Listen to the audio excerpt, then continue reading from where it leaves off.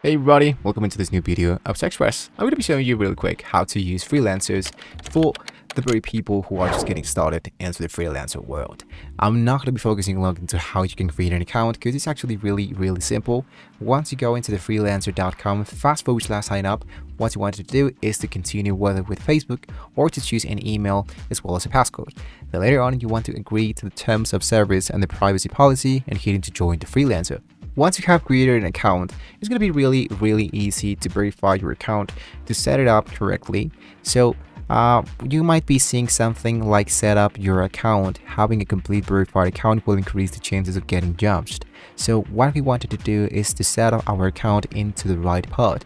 So to do that, First of all, let's say for example that I wanted to verify our email. This one just give us 6% of the verification email. So I'm going to go back here and just like that, my account should be, let's say, getting more points and setting up our account by adding a full name, by adding more stuff. So you can do this by yourself. I'm going to be showing you now how can get how can we get started here into the freelancer section. So um, if you see here into the upper side, we have dashboard, we have the list, task list, my projects, inbox, feedbacks, and free credit. Credits can be helping you to let's say apply for a specific job. So of course you might be having some free credits daily monthly annual but you can get more credits if you pay for that. So there are a few ways that you can earn free credits to let's say apply for more jobs. So if you want to chat you can click into free credits and for example here let's say that give a friend $20 and get $20 back before you can get started without the following your email and a phone number. So do this and then later on your friend and yourself should be getting $20 back. Now let's go back into browse once again or just click into the freelancer logo and this one should be taking you back into the dashboard.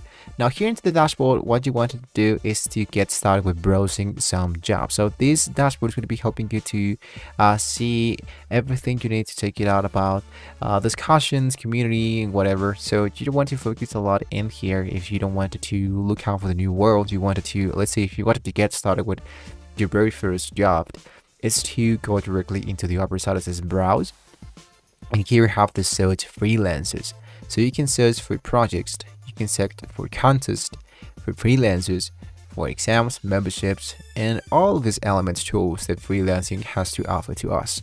Let's focus into how we can get started to um, find our very first job. Let's go into the section that says projects and this one should be taking us into the browse section of the projects. Now in here, let's filter this a little bit more so we can try to look for the right work for us.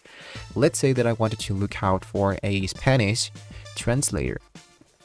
So I'm gonna hit now into save and check it out. We have a native Portuguese, uh, Chinese, Japanese, and Portuguese translation we need to translate our video from French to Spanish, also female voice. I need a Chinese translator. So uh, what I want to do is to try to filter as much information as I can so I can get the right job for me. So let's go for English to Spanish, for example. Translator, I'm to hit now into save. Got it? X. Now, I am looking for a skilled writer to help me create a non-fiction self-book, the ideal candidate. So if you find the job you're looking for, what you wanted to do is to click, let's say for example, into something like this. And as you can see, it says bit 23, average bit 25.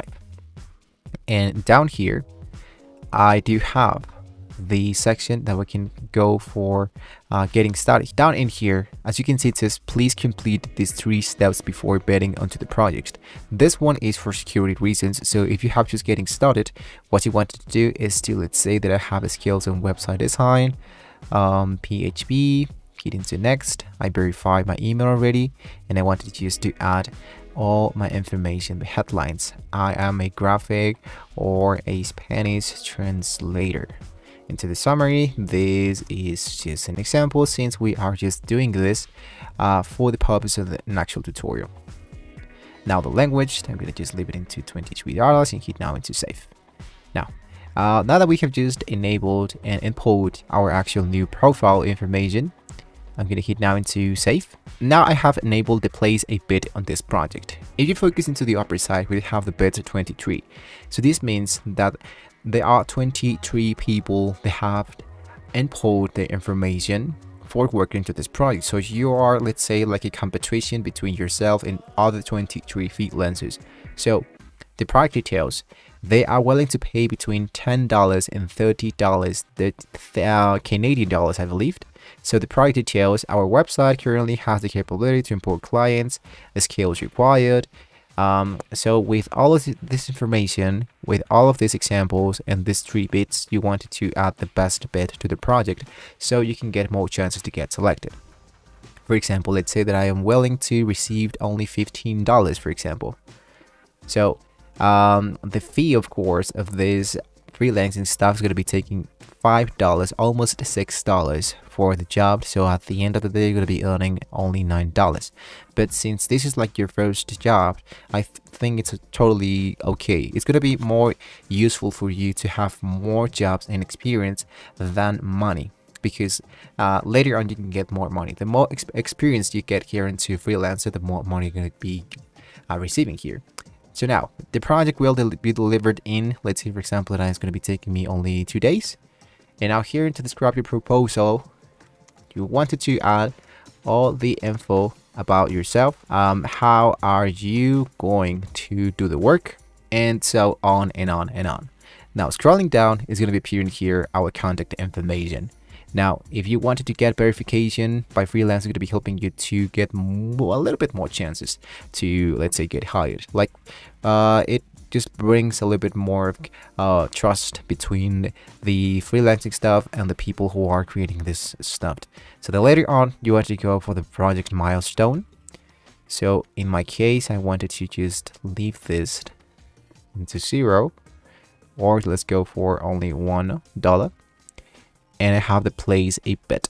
Into the upper side, since we have a free account, we have the free membership, and the free memberships give us 6 beats left out of 6. I'm not pretty sure if this one is uh, per week or per month of daily or daily, but we are able to submit for proposing jobs six times. So if I hit now into post into um, place the bid, it's going to appear in here that you have successfully placed a bid. $15.